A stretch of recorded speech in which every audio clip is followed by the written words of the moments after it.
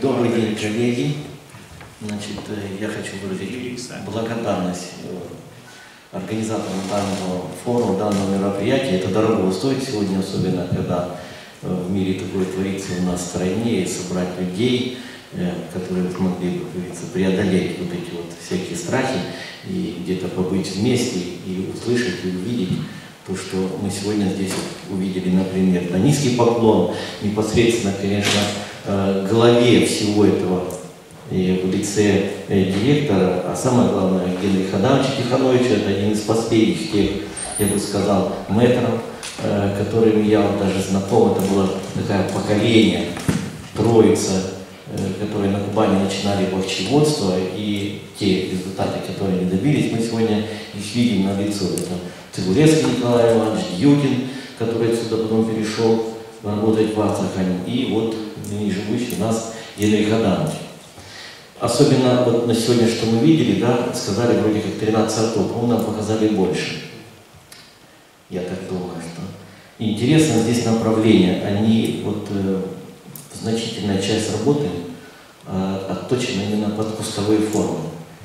Значит, особенно вот обратили внимание, была так небольшая порционная тыква оранжевого цвета, э, крупноплодная. Бишь она по вкусу это нормальная тыква, то бишь съедобная тыква. Э, как вот мы понимаем, если мы твердокорную нас навряд ли заставишь кушать, это надо куда-то в Москву везти и все остальное. А именно здесь кустовая порционная форма, это до 20 тысяч можно на гектаре сделать. Если пусть по два, мы видели, по два, по три плода, пусть по килограмму, ну это стрельник под 100 тонн с гектара. В принципе, и на сегодняшний день при этой эм, период вегетации, они сказали, это 60-65 дней, вот эта тыква сейчас даже твердокорая, невкусная, быть, ну, какая кормовая, как говорит, по-другому тыква, по-другому не зовешь, это просто картинка. Продают в супермаркетах 100 рублей. Э, реальная цена с поля это около 30, 100 тонн, 300 тысяч. Ни одна культура вам столько, как говорится, и не даст. Почему не рискнуть, почему не сделать выбор? Согласен, сегодня э, на Кубани у нас около 5000 э, гектар под арбузами. Смело можно заявить, что это примерно 90-95% занято импортными гибридами. Почему? Гибрид всегда будет лучше, чем сорт. По выровности, по одновременности созревания, по значительной устойчивости там, к абиотическим каких-то стрессам. И тот, конечно, кто эм, свою работу ориентирует на реализацию большими объемами, куда-то отправляет в Москву, туда и дальше, там, конечно, не выращивает там Казахстан и подобные гибриды. Но ценовая политика. 5 рублей в этом году Казахстан даже 5,50. Значит, 10 тысяч на гектар вы должны положить, 55 тысяч вы должны уже достать и вложить. Что в этом году? Вот смотрите, какие примеры, да? Еле-еле все это зашло по одной простой причине. Да, Казахстан остался немножко лучше по всходам, потому что семена э, иностранцы обрабатывают, вот такие низкие температуры и значительные холода, которые были сопровождались вот этими осадками пролонгированными, к чему привели? Мы имели всходы 2-3 недели. Бактериоз активно начал поражать растения. Те сорта, которые не имеют генетической устойчивости или же были не обработаны, они казались сильно уязвимыми. Значительная часть посева пострадала от бактериоза. Иностранные гибриды, где предусмотрено вот это применение э, фунгицидной защиты, конечно, они оказались несколько выгоднее. Но они э, ценник, опять же. Значит, были и такие участки, где э, ну, по 200 гектар, наверное, и более э, было поражено бактериозом, вплоть до того, что люди от них начали избавляться. Дело в том, что даже сейчас, вот смотрите, бахчеводство, если ранее у нас брендовая считалась это Тамань, большая значительная часть бахчевых арбузов выращивалась там, то сегодня бахчевые переместились на север. Наверное, пальма первенства на сегодняшний день принадлежит Белицкому району по площадям. Кропоткин, Белийский район, Новокубанский, вот здесь, более северная часть.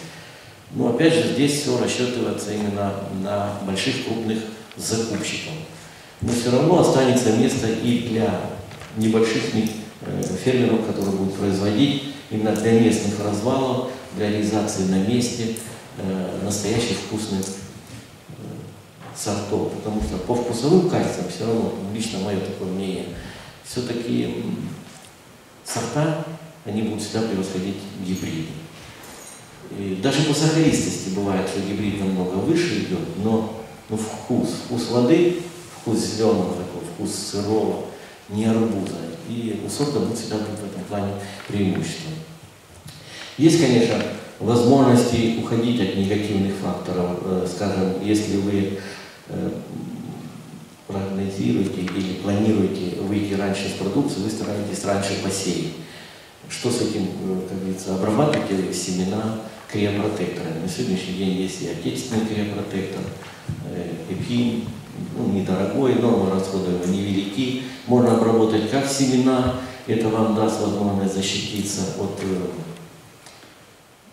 период вот этот, когда низкие температуры, возврат низких температур, а семечко уже наклюнул, самый уязвимый момент.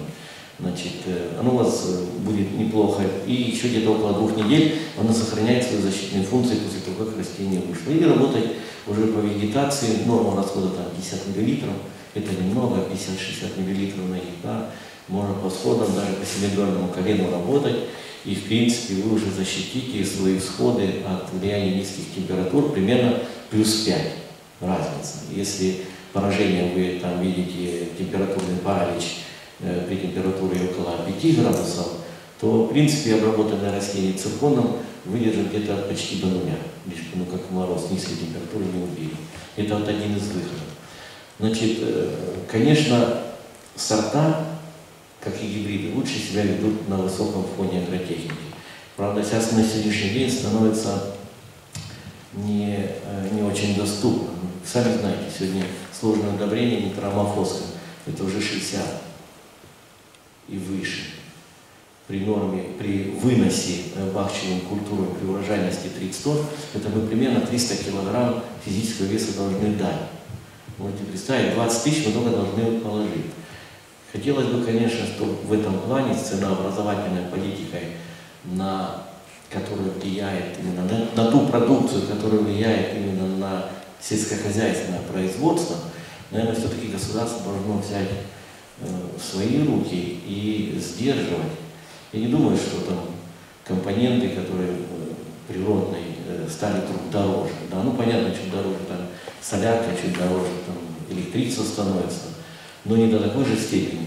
Значит, если вы не вносите удобрения и вы крутитесь в пределах небольшого такого участка, вы думаете, ну скажем, своей, своего пая.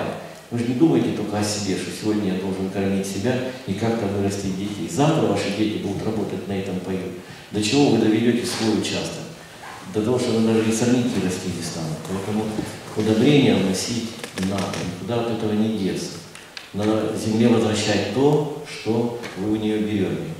Независимо от какой формы. Или идти по пути сидерации, там, значит, органику вносить, или же это органические удобрения, там, навоза, там, чего-то еще от крупного от скота, или, или же форму, естественно, минерального удобрения надо все равно делать. По, как этот год показал, видели сами, значит, э, холодная Э, холодная, влажная земля и не дала возможности э, поймать вот этот в короткий период э, по температурному фактору, когда уже можно было выходить в поле, нам не дала влажность подготовить почву. Я думаю, что лучше, хотя э, как такой практики нет, говорят, допустим, зиму все стоит похота, а потом мы разделаем. Я думаю, лучше все-таки, наверное, почву подбахчивать, планировать и, и готовить все-таки э, еще с осени, после похоты, да, там может быть февральские какие-то окна, попробовать ее разделать. Даже чем лучше в этом, э, как вот применять технологию глифосата, дать возможности отрасти сорнякам на ровной почве, выровненной, естественно, всходы будут более равномерные. И по сорнякам выйти, дать 90%, вы, вы и сорнякам подняться, отработать глифосатом, потому что на сегодняшний день нет гербицидов против двудольных. И, наверное, долго еще не будет, потому что площади невелики. Э, Потыки есть э, почвенный гербицид, его можно применять. Там небольшие нормы расхода 1,2, и 6 литров на гектар, там разных рекомендаций идет по-разному. Это сигорный гербицид, Dual Gold, в принципе, сразу после посева с обязательной заделкой, примерно 25-30 дней э, сдерживает развитие сорняков, но опять все зависит от складывающих условий. Если это будет сухая, жаркая э, погода, быстро металлохлор испаряется, защитный эффект пропадает. Деньги, как говорится, на видео. Ну, в то же время шанс есть уйти от дорогостоящего мероприятия, как это ручная прополка. Или же, как делают, э, нужно идти по технологии, все-таки, как э, работают бахчеводы в Волгоградской области. Да, они э, высевают на гектар чуть меньше семян, но они практически как работают по квадратной гнездовой. И используют в двух направлениях культивацию, мехобработка, тем самым они исключают, значительно исключают э, ручную обработку. Максимум один раз пришли, с расстановкой сделали. И, в принципе, это тоже у, у, при складывающейся цене может оказаться э, ну, значительно такой, помочь получить, так сказать, маржу с вашего урожая. Какие погодные условия нас в этом году встретили? Да, холодный, влажный июнь, и вот недавно совсем, когда идет, шло период формирования развития плодов, температура выше 40, причем в течение не одного дня, а довольно-таки продолжительного времени. На сегодняшний день, в принципе, есть препараты, которые снижают вот этот эффект высоких температур и позволяют вам как-то защитить. Тоже невелика цена на эти препараты. Ну, широко распространенный у нас, по крайней мере, в крае циркон. На сегодняшний день кукурузу без него уже не выращивают, потому что из-за вот этой воздушно-сухой засухи крутит лист, и мы видим, вот мы ехали к вам, есть поля, которые уже качан э, еще початок вверх, говорится, он еще не готов, а растение уже все. Дальше оно вегетировать не будет, оно уже высохло просто-напросто. Ну, в принципе, мы у себя на своих опытных делянках, семеноводцы, мы применяем этот препарат, и довольно-таки неплохо получается. Как еще уйти от э, вот этих абиотических факторов, которые э, делают нас уязвимыми от э, вот этих вот перипетий погодных? Э, чем мощнее, чем э, физиологическое состояние растения лучше, тем больше она устойчива и как погодным каким-то колебаниям температуры, также и устойчивость к вирусам. Чем крепче, тем меньше болеет, одним словом. То есть не стесняться применять на сегодняшний день широкий спектр есть препаратов, э, стимуляторов, таких, а, в основном это э, на органической основе, там продукты жизнедеятельности разных э, микробов, бактерий, грибов, там ну, спектр большой. Так, типа там альфастин, там же тор, появляются препараты. Ну, естественно, хотелось бы, чтобы не напасть на фальсификат, но они тоже неплохо и очень хорошо работают. Не стесняйтесь применять биогуматы. В принципе, вы этим не вредите, ценовая политика на них незначительно так высокая. Значит, есть, если дают хороший эффект, примерно от расхода раз в три недели около литра на гектар, и растение прямо отзывается, вы сами это увидите визуально. Вот, скажем, циркон, биогумат и там тот же фастин еще что-то сделает, такой коктейль отработает. Э, через 3-4 дня заходите на поле, интенсив, появляется листовая пластинка, интенсивная краска.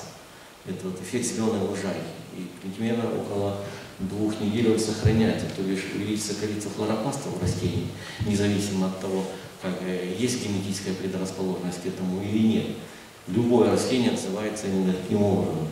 И у вас есть, э, вернее, у растения есть возможность перенаправить значительную часть формирующихся сахаров, которые синтезирующихся, не только на свой рост, но и на улучшение своего физиологического состояния. А я же говорю, чем лучше, чем мощнее растение, тем меньше оно подвержено и остальным вот э, болячкам, особенно вирусам. От них тоже никуда не денешься, как мы видели на поле на мускатных, там, на плотных сортах присутствует вирус, а вирус, в свою очередь, потом начинает э, влиять на период хранения.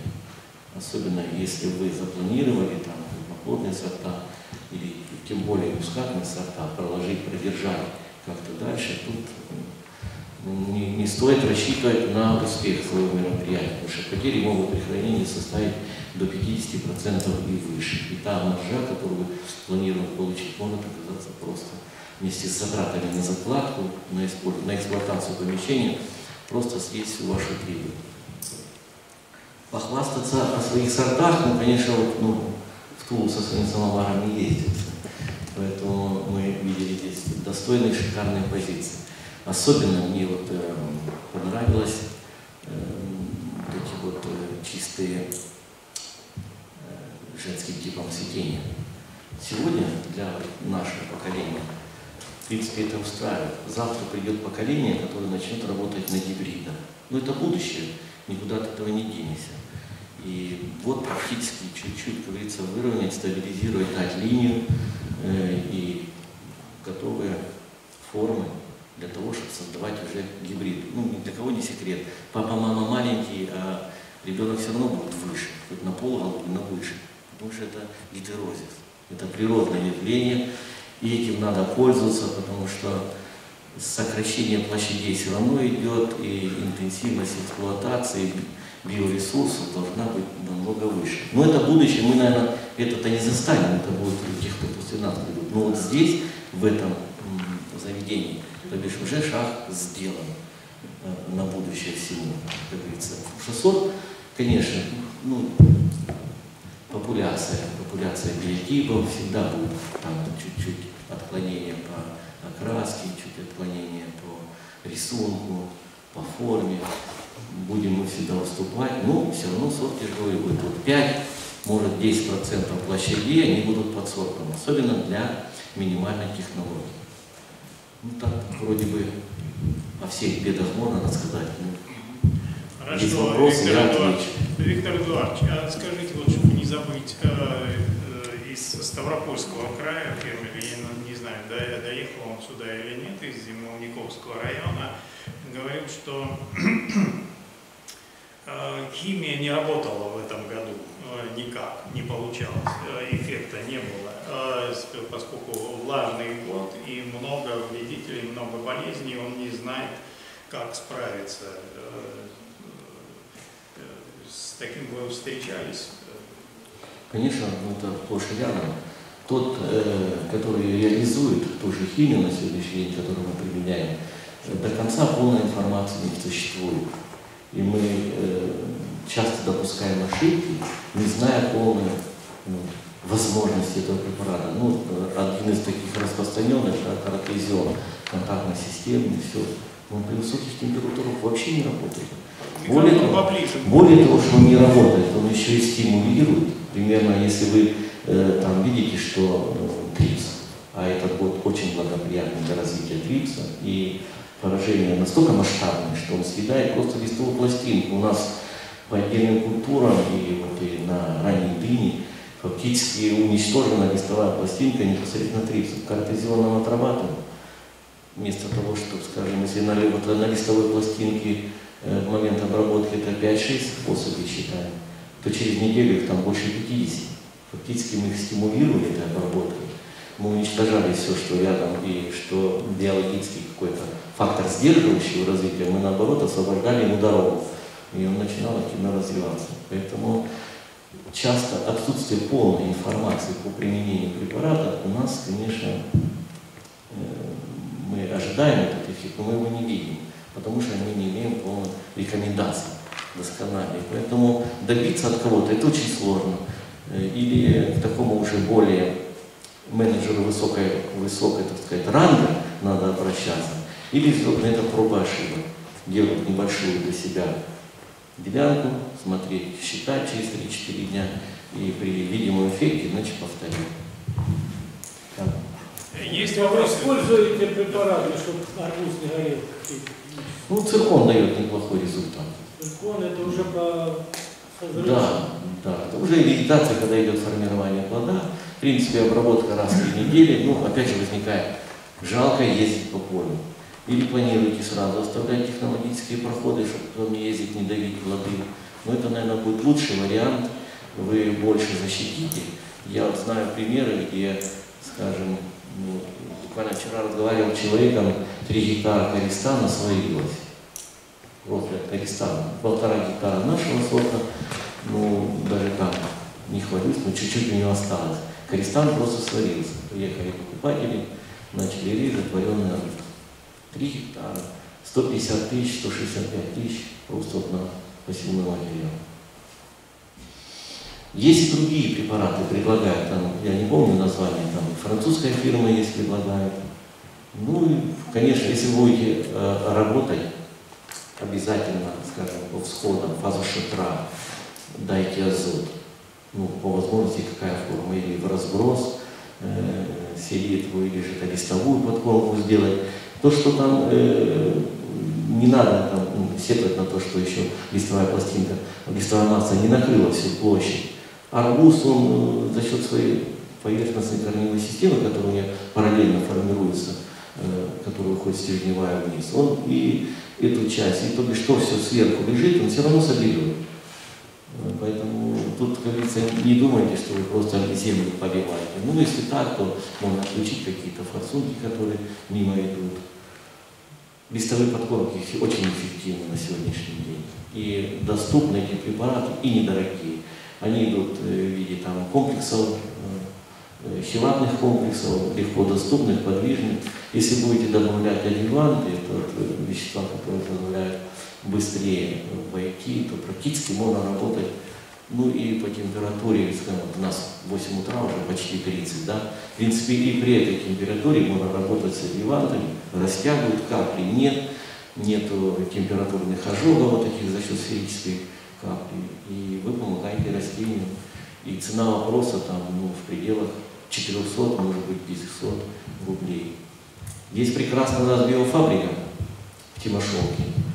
У них есть и неплохие наработки в плане Биотехагро вы имеете в виду, да? да, у них есть наработки неплохие по биопрепаратам, тоже невеликая цена, но применение их э, при обработке почв значит, увеличивает подвижность фосфора, увеличивает подвижность калия. У них есть форма препаратов, которые самостоятельно азотфиксирующие бактерии живут, то бишь ну, фактически как вот э, параллельно вашей культуре э, растут еще и бобовые, можно так сравнить. Тот же горох, да, и он- они помогают вашему растению азот фиксировать, и как будто постоянно вы подкармливаете вот азотом. Почему бы нет? Те препараты, которые на основе триходерма, полностью позволяют вам снизить э, риски по э, почвенным патогенам. Тот же фузариоз, потому что многие, кто крутится вокруг вот, э, небольшой зоны, ну там 2-3-4 гектара, э, где вы не имеете возможности там, включить зерновой клин, еще как-то отступить, а вынуждены из-за из экономических соображений ночи, да, это на сегодняшний день бич. Ну, тоже появляются и сорта, у нас есть, сейчас получается, я хвастаюсь своим, да, у нас есть поздний сорт, который имеет генетическую устойчивость именно к этой длинной мухе. Но пока это не единственное вот у нас, в нашей э, линейке сортов. А тут, конечно, тут... Да. Э, есть еще вопросы, э, Виктор Николаевич? Нет?